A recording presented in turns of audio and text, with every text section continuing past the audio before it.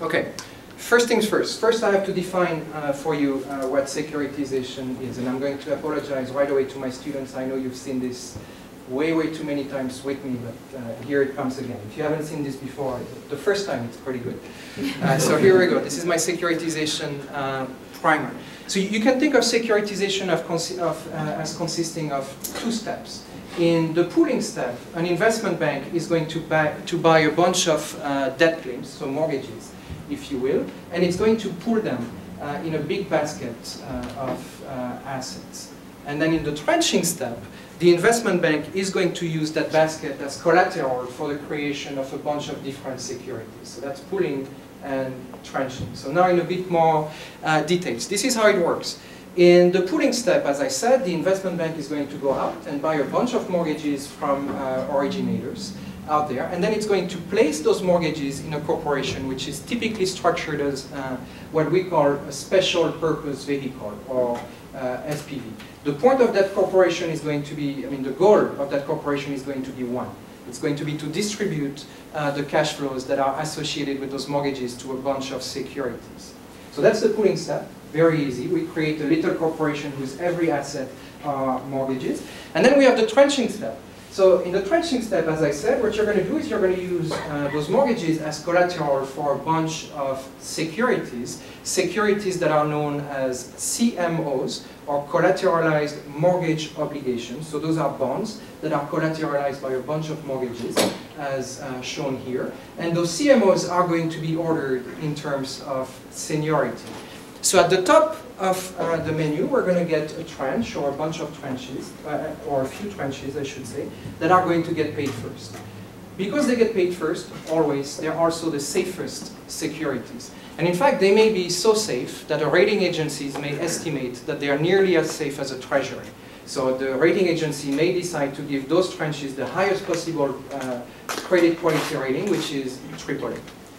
And then uh, uh, next we have other tranches which uh, are slightly junior to the top tranches. So those are not nearly as safe because uh, they only get paid second, not first. But the rating agency may still estimate that they are reasonably likely to pay. So they may get a median quality rating, credit quality rating of uh, double. And then of course, as we work our way down the menu of securities, we start running into securities that are riskier and riskier because a lot of securities have to be paid before they themselves get paid. And here the rating agency may say, well, those are quite risky. And I'm going to give them a low credit quality rating of, say, B. And then at the very end, always, dangling at the bottom of the CMO structure, is a residual tranche. And that tranche is always going to get anything coming from the mortgages minus what has already been promised to all the other CMOs. So this is the uh, equity tranche.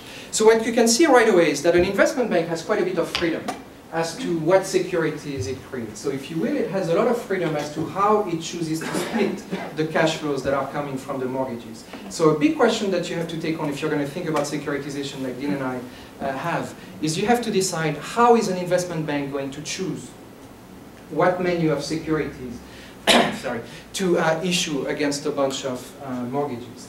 So that sounds very complicated, but it turns out to be very easy. All you have to do is you have to understand where securitization profits comes from.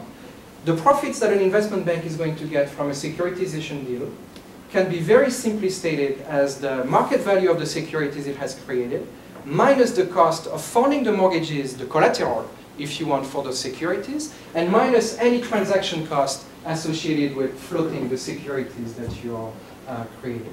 That's it. So once you recognize that, the thinking becomes very easy. How is the investment bank going to maximize profits? Well, first, it is going to sell each security to the highest bidder for that particular type of security. That is going to be step number one. So the investment bank is going to call around all its friends, hedge funds, pension funds, what have you, insurance companies, and it's going to ask, how much are you willing to pay for this or that? And it's always going to sell each security to the highest bidder. That's step number one. And step number two it is just going to create the feasible menu of securities, which happens to have the highest uh, total market value, given what market conditions are at a particular point in time. Out of this, you get really the main idea I'm going to use throughout my talk uh, today. And the idea is this. A particular pool is going to, securitization pool, is going to get created if and only if it is possible to find a menu of securities that you can create with that pool whose market value exceeds our securitization costs. Right? It's as simple as this. You do a securitization deal if and only if you can make those profits positive. So let's imagine now that for some reason market conditions change. So the idea I'm going to push hard today is let's imagine that the value of AAA goes up.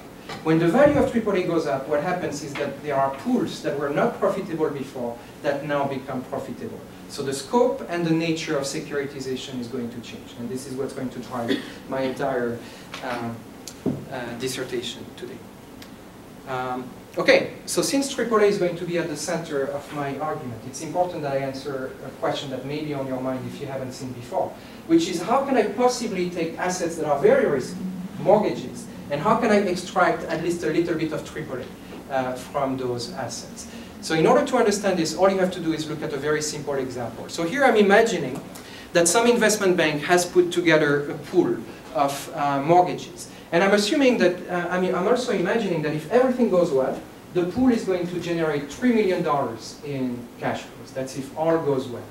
Uh, then if the pool performs decently, you're going to get $2 million out of that particular pool. And then if things turn out to be bad, if a lot of your mortgages turn out to default, then you're only going to get $1 million out of your pool of mortgages. Okay.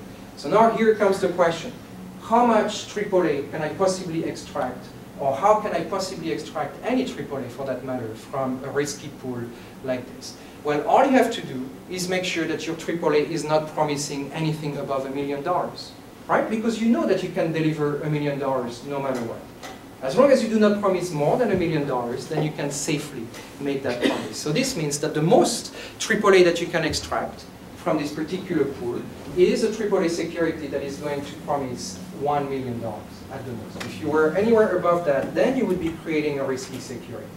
Okay, so that's how you get AAA uh, out of a pool of mortgages. You just extract the safe part of the cash flows coming from the pool. This is what just happened here. And then you have to decide what to do with the rest of the cash flows. So here the investment bank may choose to create a bond, which is going to pay a million dollars as long as things don't turn out to be bad. Right? This is the B tranche here. And then finally, like I said, always dangling at the bottom is going to be an equity tranche, which is going to mop up any residual cash flows. And in this case, it's going to pay $1 million if and only if everything goes according to the plan. Uh, okay.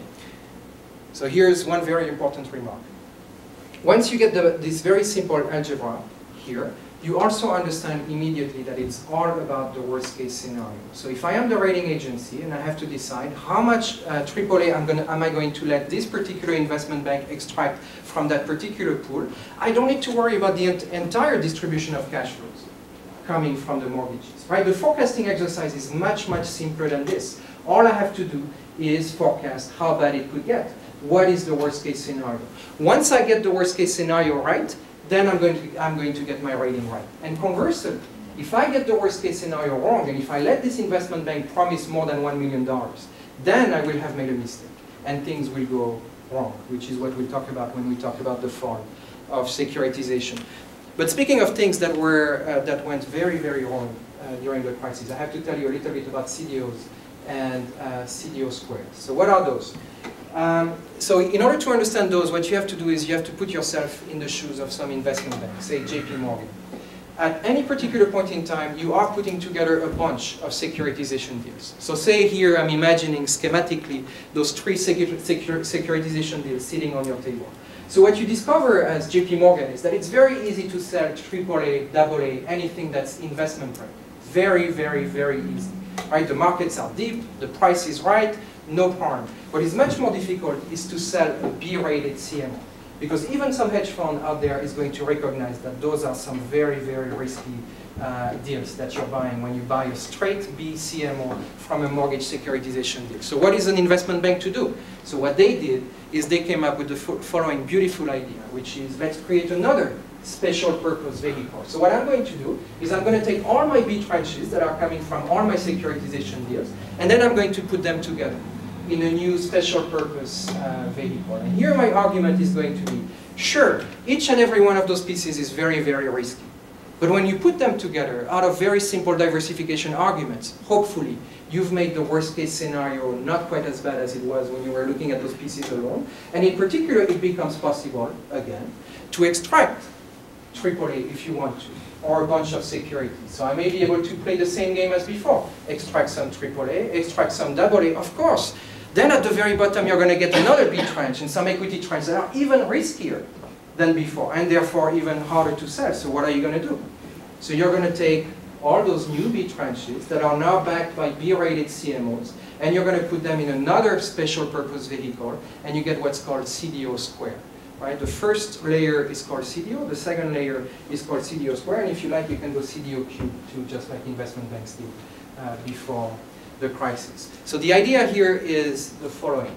So what you do, so here I'm, again, imagining that I have two B tranches, right, that are in and of themselves very risky. In fact, the worst case scenario on each of those B tranches is really terrible. You may get nothing out of those B tranches, but then you mix them together and you add them up and magically you've created a pool whose worst case scenario is not nearly as bad, just like before. Even in the worst case scenario, it's going to give you a million dollars. And the reason for this is diversification.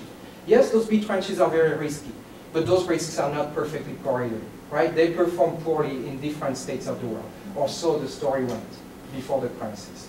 Right? And then once you've done this, it's very easy. You can play the same game as before, and on you go. And then you have to worry about that B tranche here, but you're going to put it in a CDO square, and you're going to raise CDO, CDO it, as they say, and off um, you go.